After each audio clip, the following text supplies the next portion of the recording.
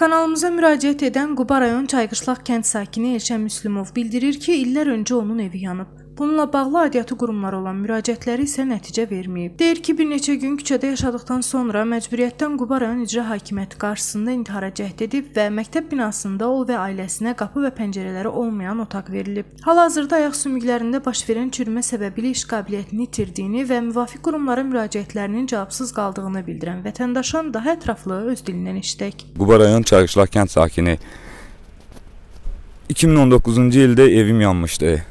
Gəlmişdim prezident aparatına. On, oradan yönəltdilər məni Quba İcra Hakimiyyətinə. Ancaq heç bir köməklik olunmadı. Ondan 2 il sonra 4 1 il sonra ayağım bu vəziyyətə düşdü. Onun üçün də köməklik istədim. O da heç bir köməklik göstərilmədi. Ayağımda sümükdə çürünmə var. Dünənləri həkimdə idim, sənədlər də cibimdədir. Disk çıxartdılar 70 manata. Onu da ki heç bir köməklik olunmadı. Ancaq ondan qabaq Vahid Əhmədov deputat seçilməmişdən qabaq gəldi Kelnoya.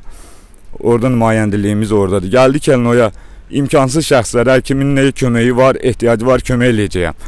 Ancaq ha vaxta kimi haçan deputat seçiləndən sonra heç bizi kimi insanları yada salmır. Çünki bizim heç kimimiz yoxdur. Arxamda heç kimim yoxdur, kimsəsiz adamam. Ancaq onu bilsinlər ki, mənim də arxamda sizin insanınız, adamınız var əgərsə, mənim də arxamda Allahım var. Başımın üstündə Allahım var. Mən Allahıma güvənirəm.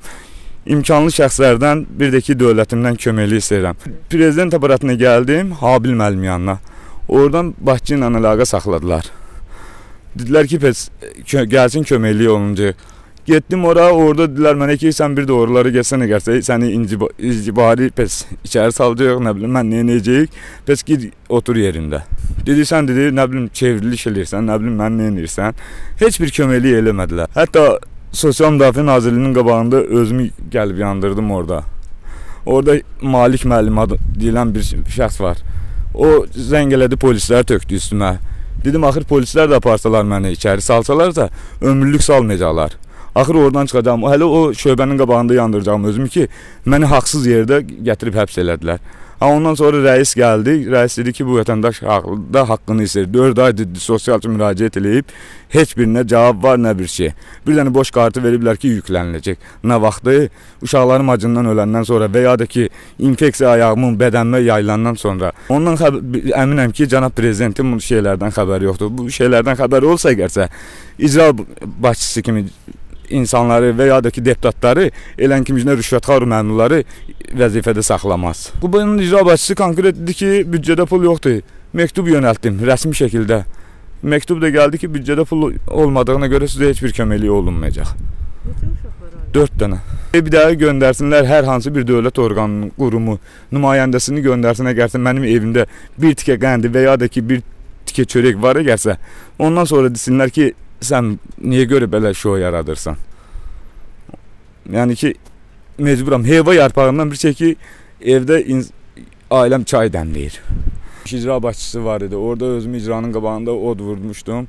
4 dənə körpə uşağım çöllərdə qaldığına görə, hətta 3 gün ardıcıl gecə küçədə yatdıq ev kəndimizdə. Yəni ki, ailəmə görə, uşaqlarıma görə mecbur idim ki, o hərəkəti eləyim ki, Yəni axır dövlət baxıb hər hansı bir qurum ona baxsın, görsün axır bir sığıncaq da olsa bizə versin müvəqqəti olaraq. Sonra ondan sonra gətirib bir məktəbin bir otağına saldılar, nə pəncərəsi, nə qapısı. Yalandan da bələdiyyə şey ifadə verdi orada Bakının yanında ki, bəs mən Filankəsov, Müslümov Elşən üçün pes material almışam. Orada məni çağırdı Bakçı. Dedi, bəs sənə köməklik olunub, sən nə istəyirsən? Dedim, mənə heç bir köməklik olunmadı. Zəng elədilər bələdiyyəyə, gəldi bələdiyyə, dedi ki, bəs sən Müslümov Elçənə pes material vermisənmi? Dayandı elə belə. Cənab prezidentimiz İlham Əliyevə, vitse-prezident Mehriban xanım Əliyevə və bir də ki imkanlı şəxslərdən köməklik istəyirəm. Qeyd edək ki, Kanal 13 səsləndirilən fikirlərə görə məsuliyyət daşımır, qarşı tərəfin mövqeyini isə işıqlandırmağa hazırıq.